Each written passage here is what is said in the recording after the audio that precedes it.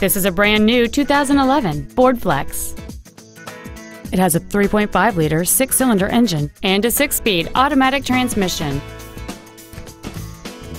Its top features include a power driver's seat, heater vents for rear seat passengers, cruise control, a six-speaker audio system, a leather-wrapped steering wheel, a multi-link rear suspension, 17-inch wheels, traction control and stability control systems, an auto-dimming rearview mirror, and an anti-theft protection system.